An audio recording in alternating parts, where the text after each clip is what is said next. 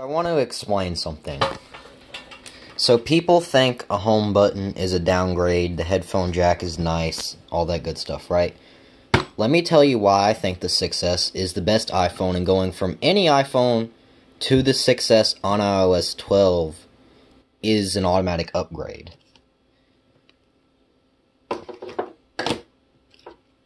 So, people say the home button is a downgrade. Think of it like this. You have Touch ID. Um, with Face ID, if your cousin or your mother has the same face as you, they can access, they can purchase and download apps. They can access, like, they can unlock your iPhone. They can get into everything because they would have the same face as you. No single person on this planet has the same fingerprint as you do. So, Touch ID is way more secure than Face ID. And yes, I know they have updates. It works without a mask. Um but I personally think the home button is better for that reason. Now, Apple claimed and lied that the swipe gestures are faster than the home button. I have done test. The home button is ever so slightly fast, and if you're like really quick about it, you know, which would be hard to do with one hand, um, and recording, the home button is ever so slightly faster than the swipe gestures. Because think about it, you have to swipe up and hold, and with the home button, you just bam bam, and then boom, there it is. Now, obviously, this is an iPhone 6, not a 6S. It's on iOS 12. Because of all the updates, it's really slow. And that's another thing. People say the 6S is slow. The 6S is not slow. The 6S is a pretty it's a decently powerful iPhone. The reason it is slow is because you updated it to iOS 15 and that's like running Genshin Impact all the time on the iPhone and that's what slows it down. Um and plus um it's not actually that slow on iOS 15. I've used iPhones um 6S's on iOS 15. They are not slow. Now, when running games and stuff on iOS 15, yeah, obviously it's going to be slower, but you would be surprised how fast a 6S would be on iOS 12 or below. And on iOS 9, it's as fast, if not faster, than the new 13s. Another thing, people think this design of the bezels is dated. I love having the bezels. I hate that my Android phone doesn't have this.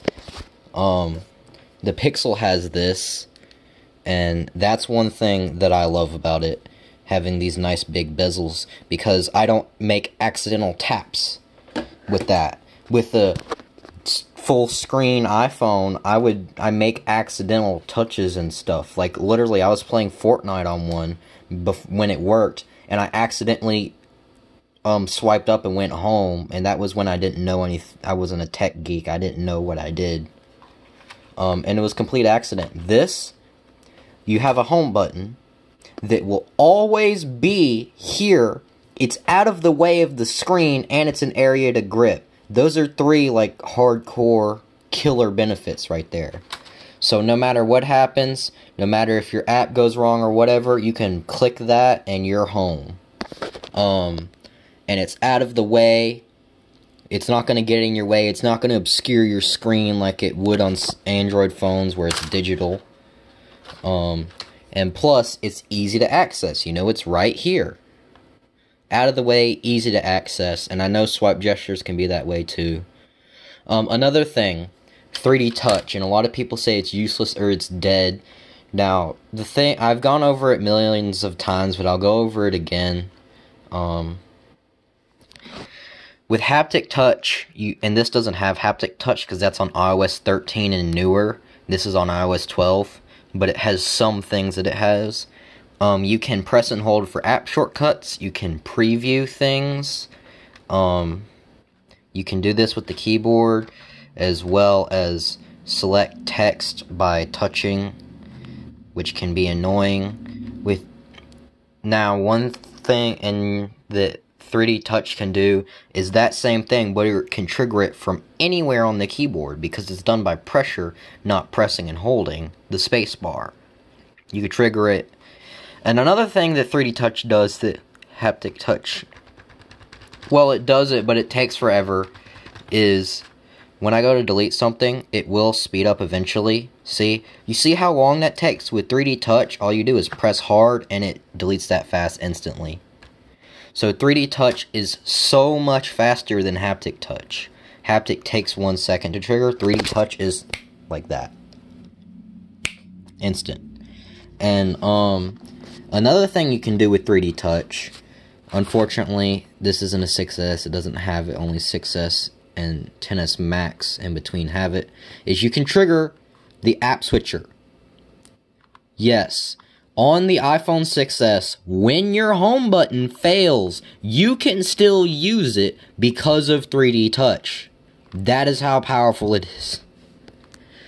Um, you press hard on the edge of the screen and you would like swipe over and you could like trigger into the app switcher or if you swipe all the way over it you can like swipe through your apps, your two most recent apps. Another thing 3D Touch does that Haptic Touch doesn't is pressure sensitive drawing, where the harder you press, the darker the lines, the softer you press, the less dark the lines. Now, other than that, you know, previewing things, um, Haptic Touch can do that. Um, but again, 3D Touch triggers it instantly, while Haptic Touch takes a second.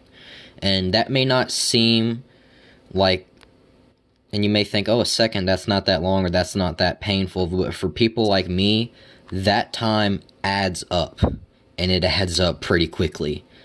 Like, it would be fine with maybe after a few days, but after a while, it gets pretty annoying. it's like, oh, I just wish it was so much faster. It's so slow. It takes forever. I'd be sitting here waiting a week for the thing to come up. Um, I mean, at that point, you might as well just not even use shortcuts. With 3D Touch, you're there. I mean, you can, like, all it do, all you have to do is, like, if you memorize where the shortcut is, like, oh, I want to go to a Discord server. Boom, I'm in that server. And a lot of people say they don't want to trade battery life and performance and screen. Now, screen, yes, the 6S is an LCD. It's not an OLED. It's not going to have pure blacks. It's going to be 1080p instead of whatever. It's not going to have high refresh. But iPhones are what I use for media consumption.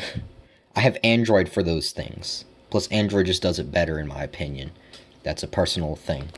Um.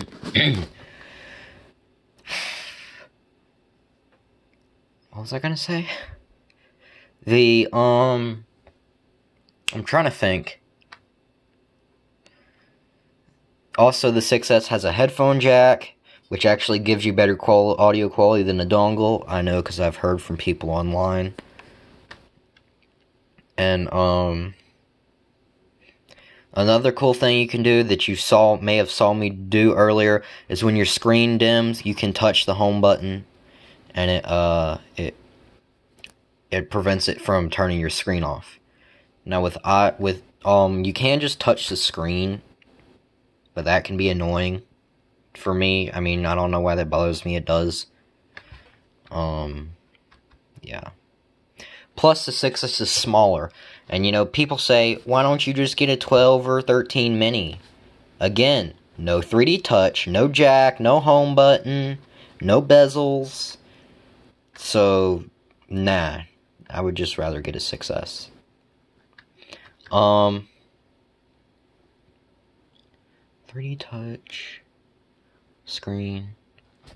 The screen, I mean, like 1080p is still, that's full HD. That's high enough quality. There's no reason to complain about that. People are just greedy nowadays. Um, now, oh, that's right, battery life and performance. So, like I said, on iOS 15 it will be slower, but on older OS versions it will be much, much faster. Um, and a lot of people don't really take that into consideration. Um, now, battery life, like I said, on iOS 15, even if the performance isn't that bad, your battery life will well, you might as well have a capacitor in there and get the same result. like, it's, it's horrible. On iOS 12, on a 6S, you would get like 10 times the battery life you would on iOS 15. That might be an, ex see, it's turning off, I can, it's not going to do anything, but now it is because it's on. Anyways, um, 10 times, that might be an exaggeration, but you're going to get at least twice the battery life you normally would. At least. Um, so yeah. Um, getting an older device on older software is a really good thing. And another thing, give me a minute.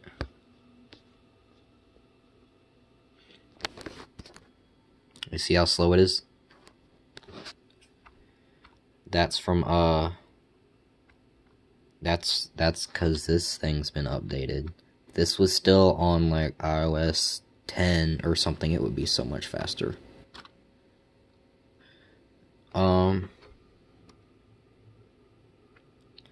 let's see. Okay, so now previewing content, photos, videos, and stuff Yeah, on iOS 12 9 through 12, it would look like this.